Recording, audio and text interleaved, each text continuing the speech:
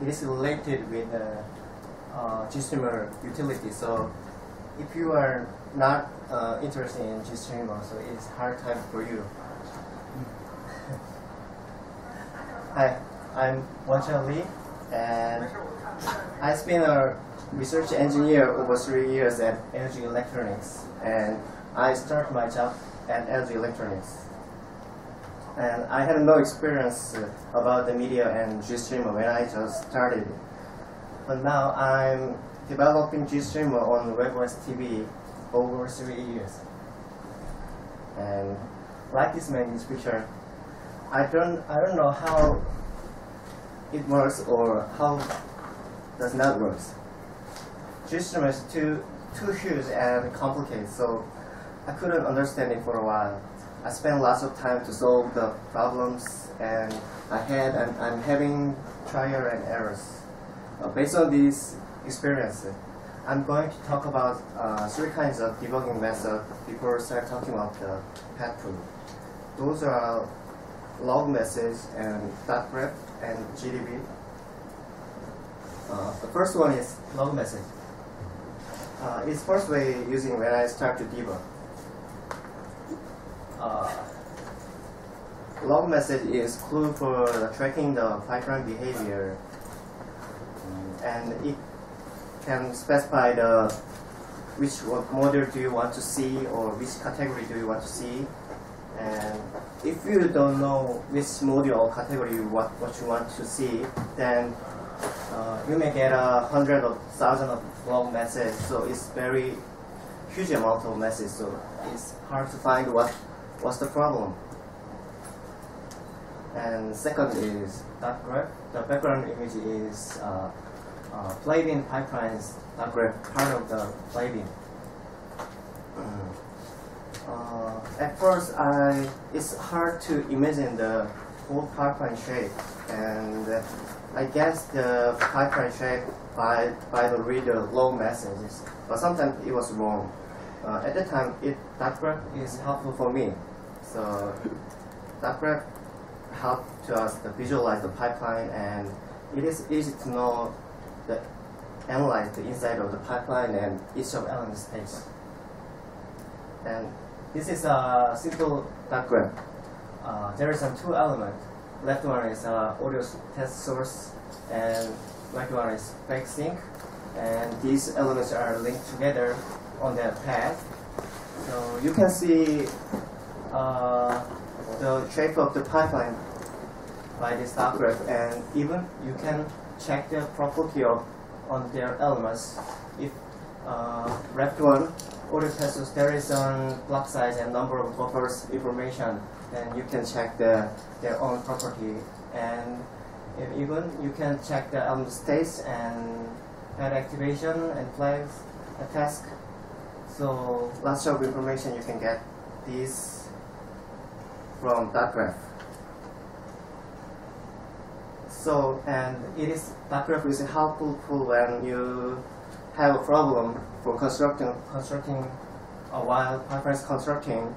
Uh, at that time, will make the error, error graph shape, then you can easily find out where is error is happened, or, or sometimes not. And third is GDB. It is maybe I think all of you are well known about it. It is very powerful debugger, and it allows you to see what's going on inside of the pipeline. And you can start the pipeline and specifying anything that uh, might affect its behavior, and you can make your pipeline stop on a specific condition, and you can examine what has happened when your pipeline has stopped. And even you can change things in your pipeline so you can experiment with correcting the effects of one bug and go on learn about another. Uh, we can debug almost every issues with these kinds of way. Log message, dot graph, and GDB. Uh, now I'm going to talk about the path proof. I will show you a survey research. I asked my colleague which way do you prefer when you do debug JSON pipeline? So the result is 100% of my colleagues prefer to use log messages.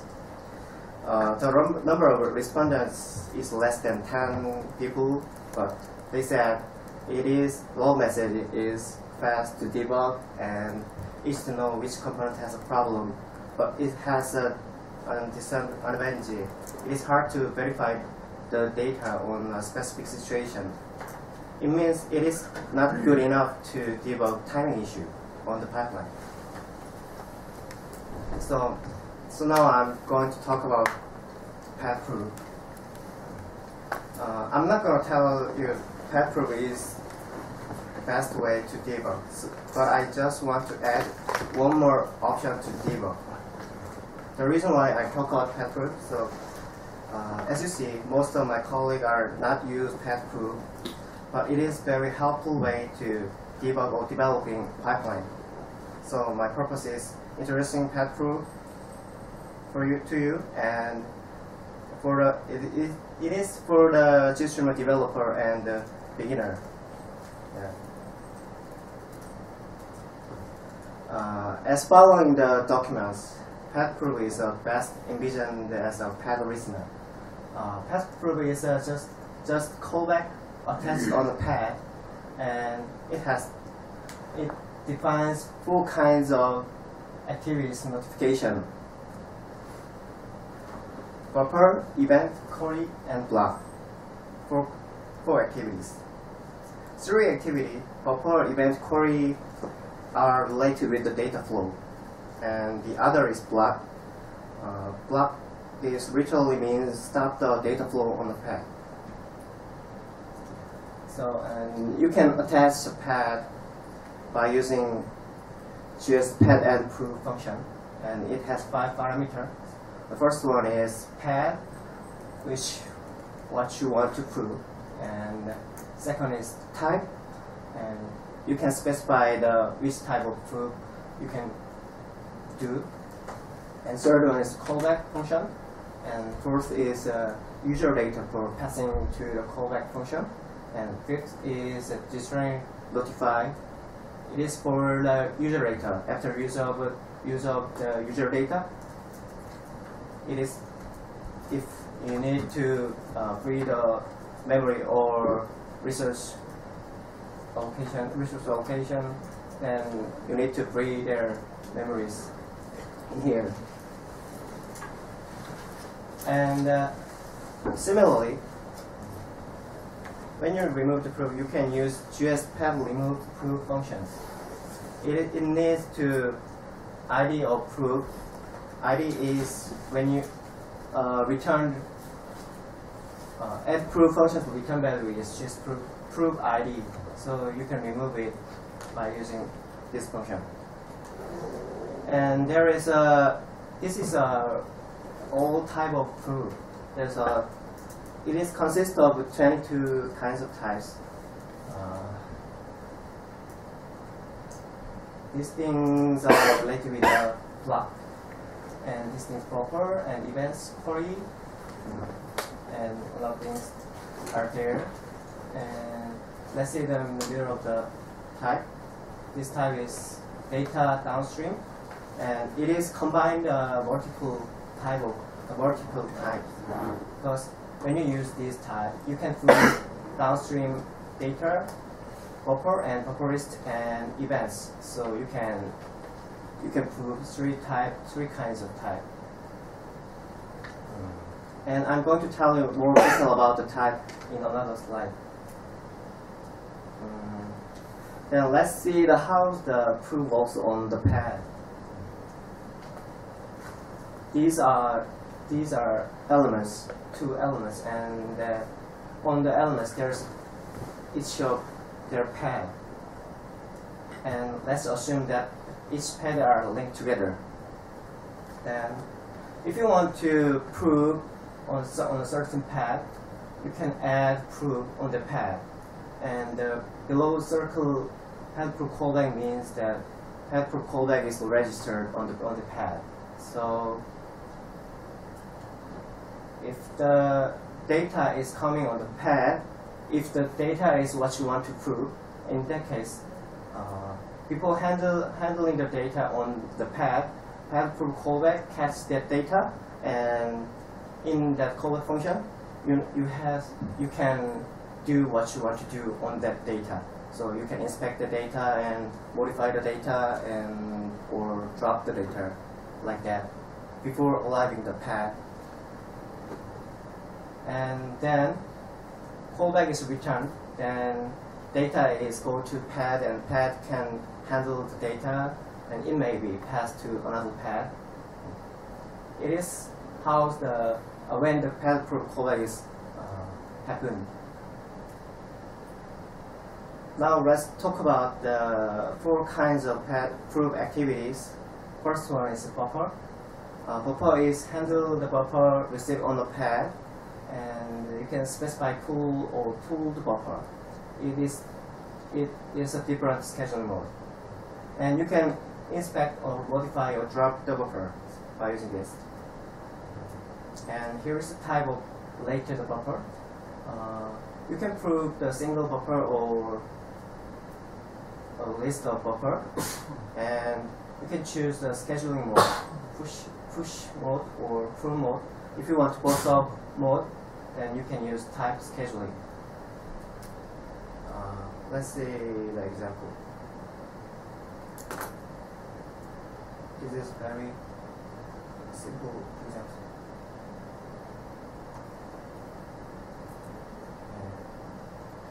I made a simple example for it. Uh, it is very, very simple. Uh, what I want to do in this simple test program, uh, I drop, drop the buffer on a certain condition by using pad proof. On the main function, I make a pi pipeline. The name is playbin, and uh, set the URL, the media URL, and I use element added signal for find uh, what what I wanted to add, wanted to prove. So in this in this callback, uh, this callback is called when the pipeline inside of the pipeline there uh, a new element is added on, on the pipeline. Then in that case, this callback is called, and inside of this callback, I find the MPEG audio parse element that so I can I can get the source pad of it and add a probe. So I add a probe on the MPEG audio parse element source pad and specify the type is buffer and register probe function. So if the buffer is arrived on the audio MPEG audio parse element source pad, the, this callback is called and inside of this callback I drop the buffer. If the condition is matched with this, uh, the buffer offset is bigger than 4096 and, and smaller than 8192. Then print printer log and return the GS pad proof drop. You can drop the drop the buffer by using this return type. And if the buffer offset is bigger than this, I remove the proof. As I as I told you, path proof can remove the just path proof remove proof API, but you can remove like this return type. It is easier than the API.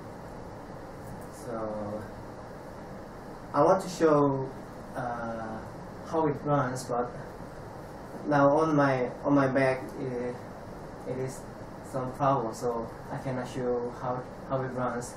I just only show that it's code. Yeah, it's, it is all about the related with buffer and let's talk about another one. The second is event. Event is notified of um, events received on a pad, uh, it can specify event upstream or downstream. Uh, upstream and downstream is uh, direction of the pipeline. Uh, by default, flush events do not cause a notification. So if you want to prove flush event, you can spec you can put the type of flush event, and you you can also inspect and modify draft events. And here's the type of the event. Uh, event, downstream event, and upstream event. And if you want to both up upstream and downstream event, you can use event both. And or if you use prove if you want to prove flush type of event, then you can use it. And the third one is query. Uh, query is notified or query received on a pad. Uh, query proof will be notified twice. It is slightly different from another, different with another proof. If you send a query to the pipeline, then query proof will be notified at first. Uh, in addition, if there is an element to the reply to the query, then query proof notified again. So you can check the query result on the pad. And also it can be inspect or modify or replacing the result of query. And here's the type of the query. You can prove downstream query and upstream and both of query. And more examples.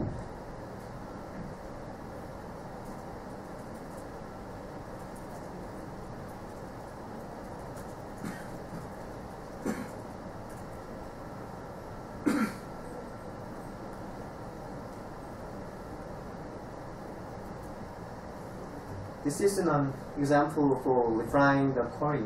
I make uh, my own custom query and send it to the pipeline. If there is no element to reply that query, the query will be failed. But I made, uh, I attached the proof on on a certain path. so I on on that path, core pad proof, I reply the query, so the query can be succeed in that case. So let's see the code. In the main function, I make a pipeline plugin and set URL, and I use the source setup signal to catch the source element point. So in this callback, we can access the source element and get the source pad of source element and add a proof. So this source pad is, is should be a source element source pad. Then I put the type of query.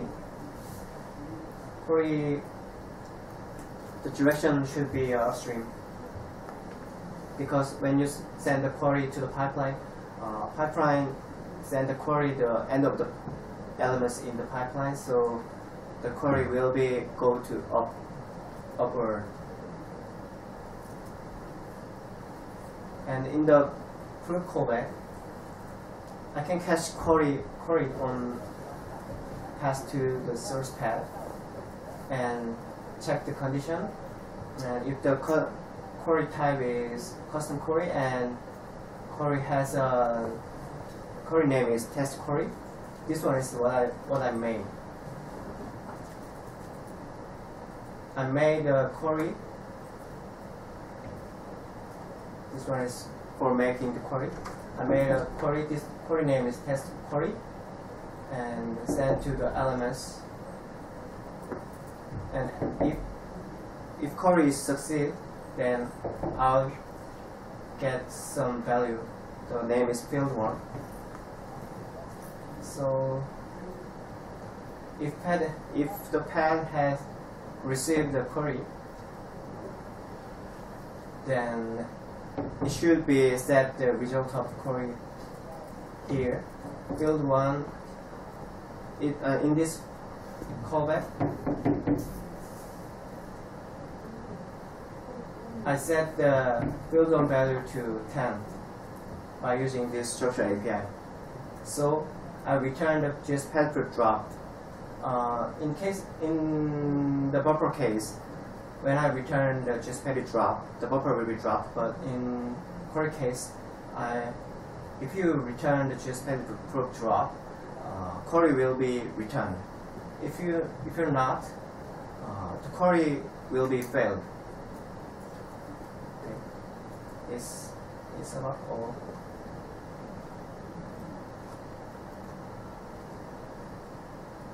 It's about the old query.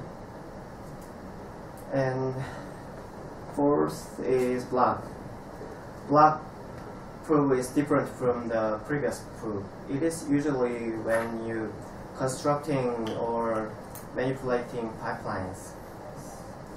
And uh, block is the block block proof is block the data flow when your callback returns.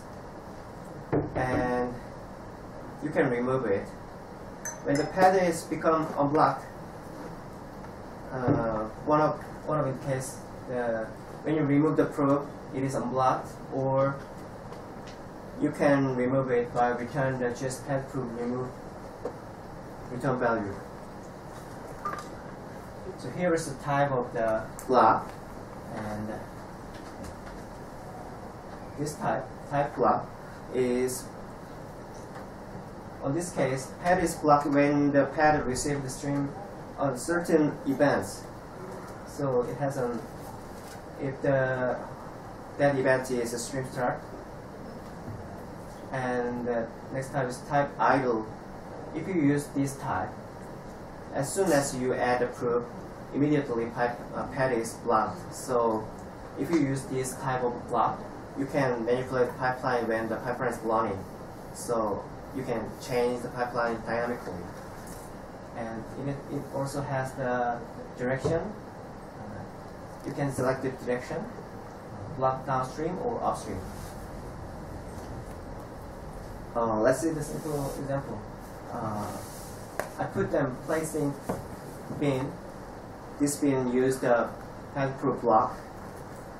And if uh, pad is requested and added, and as soon as pad is added, uh, block probe is added on the pad. So in this case, I uh, the stream start event when the stream start event is arrived the pad, and then pad is blocked, and this pad is linked to uh, before the before elements, yeah, previous element, and then if data is a, data is flow, then and pad pad receive the stream start event, then pad is blocking. So the pipeline is stopped. And then playsink configured inside of the bin, uh, video bin and audio bin and text bin. So like this, you can delay the construction timing of the pipeline or manipulating pipeline by using this block. And after finishing the construction, construct, construction, you can remove the probe. Then data is really going to the inside of the pipeline. Yeah. Until now, uh, I'm talking about the pad proof. Uh, I didn't tell you the more detail about the pad proof, and but I hope that all of you are, if you are GStreamer developer, you are interested in pad proof. If, and if you use it, I can feel free, feel good, and really great. And it is very useful. Thank you.